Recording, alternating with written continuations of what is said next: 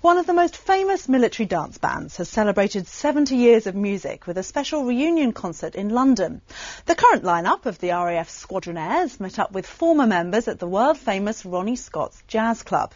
Joined by X Factor finalist Stacey Solomon, they had plenty to celebrate. Their new album, In the Mood, has just reached the highest ever chart position for a military band. Sue Kinnear reports.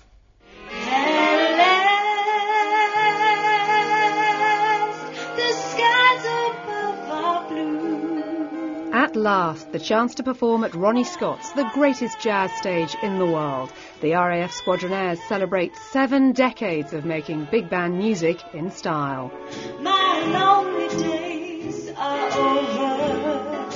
Helped by the vocals of X Factor finalist Stacey Solomon, their new album of Glenn Miller songs has just gone to number seven in the pop charts. It's Stacey's first release.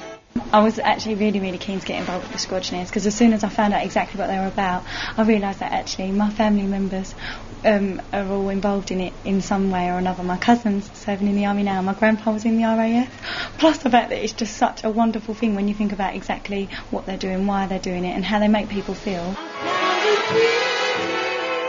Dame Vera Lynn, the original Forces sweetheart, wasn't well enough to attend today, but she has said her husband Harry was an original member of the Squadronaires and she's very pleased the tradition is being kept alive.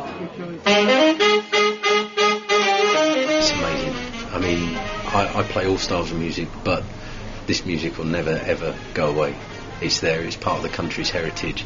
Anyone hears it, they immediately think, oh, that's the Second World War. This reunion also marked the 70th anniversary of the Battle of Britain, and having played through war and peacetime, the Squadronaires are clearly in the mood to play for another 70 years. Kinnear, Forces News, London.